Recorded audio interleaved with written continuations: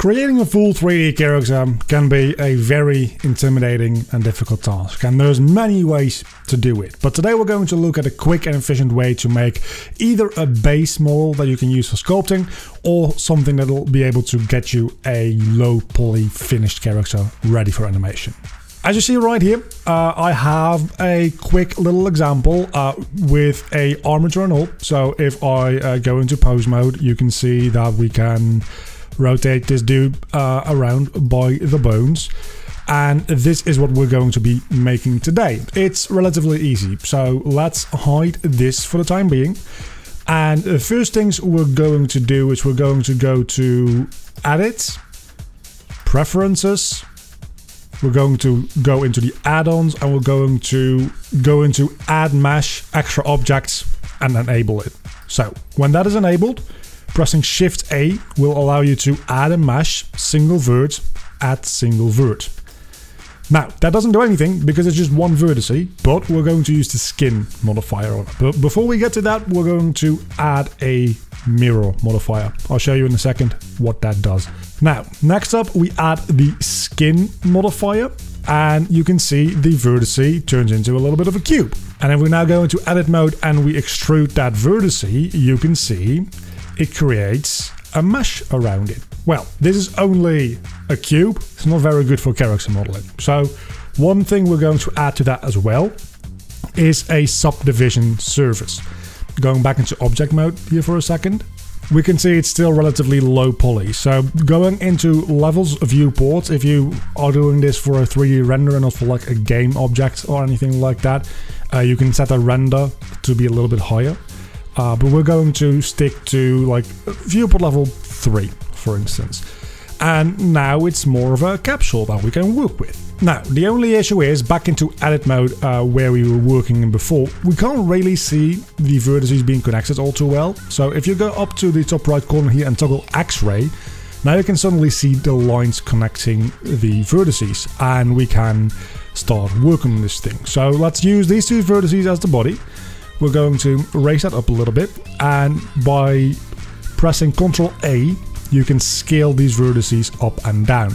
You can't use usual like scaling with S because it's a one-dimensional point, you can't scale it. So specifically uh, with the skin modifier you need to use Ctrl A while uh, having a vertice selected to scale it up. So let's make this a little bit um, wider on the bottom and then uh, to make the neck you just take the upside of the body here you extrude it up just a little bit and then you extrude it out again to make the neck. Then you extrude it out again to make the head and we scale up the head a little. We extrude it out again to make the head be round and you'll just have to uh, through trial and error try to figure out what looks good for your specific uh, need and what you're wanting to make.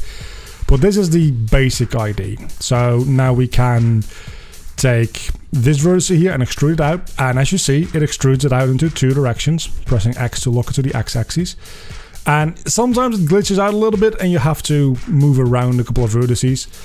Uh, but that's what this mirror modifier is doing. The one we added before. If I turn it off, you'll see it only does it to the uh, one direction that I extruded into. But having the mirror modifier means that our model is going to be exactly symmetrical, which then for rigging purposes and animation purposes is very nice to have. So uh, we have the arms. Maybe we want the arms to be a little bit lower onto the body, a little bit more like that, so it flows a bit better into the neck. For arms, you probably also want an elbow point. So you make an elbow point by uh, pressing Ctrl R, and then you can add an extra vertex here. Move it back a little bit so it has a bit of a bend to the elbow. And then we do the same thing here with the legs. So we extrude out into the X direction. And then we extrude this out towards the bottom and you can see that these vertices probably both are a little bit too thin so we make them thicker. And this definitely needs to be a little bit up higher as well. Maybe actually we want to have a extra vertice here. And this is how easily you can add and, and change things to influence the shape of your character. He's got a bit of a, uh, a fatter bottom, which is, something that I quite like in this case, actually. Uh, maybe add a little bit more to this as well.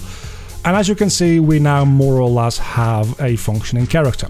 Same thing as with the arms, Control R to add a point so that we have a knee, move it out a little so that it's bended and we have a character more or less. So now over here we can apply the mirror modifier and if we now go back over into edit mode we see that these points have also been added for the left side. And the fantastic thing about this method is that here in the skin modifier we can apply shade smooth uh, right in there so it looks a little less blocky. But we can also create armature. So if we press that button all the points and lines we just made have now been turned into bones with automatic weight painting adjusted to them as well.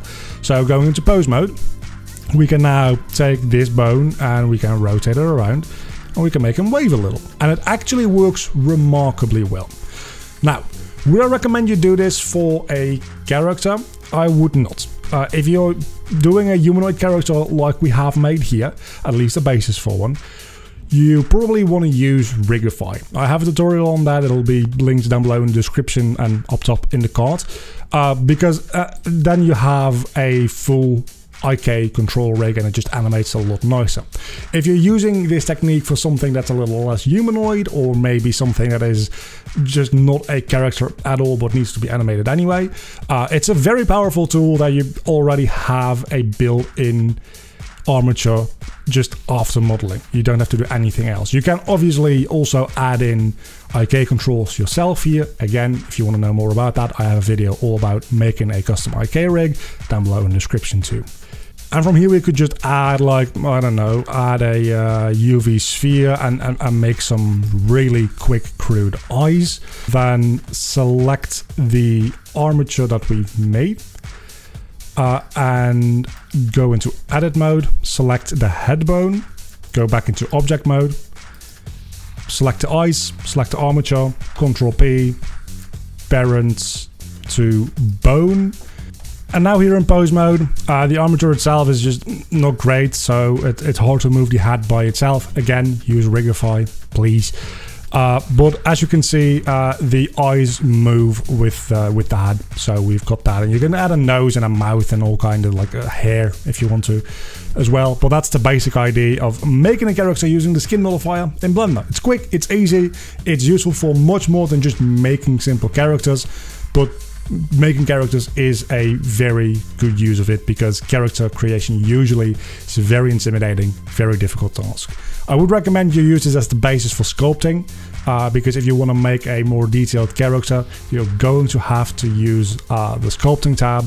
But if you're going for a low poly character or a simple character, something like, I don't know, Fall Guys or uh, a 3D version of Among Us, that, that kind of style, uh, this will be plenty and it's a very easy and quick way to create your characters.